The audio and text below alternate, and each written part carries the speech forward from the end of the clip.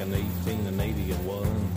She was a beautiful daughter of the DNRG, and she weighed about a thousand tons. Well, it's a 45 mile through the Animas Canyon, so they set her on the narrow gauge. She drank a whole lot of water and she ate a lot of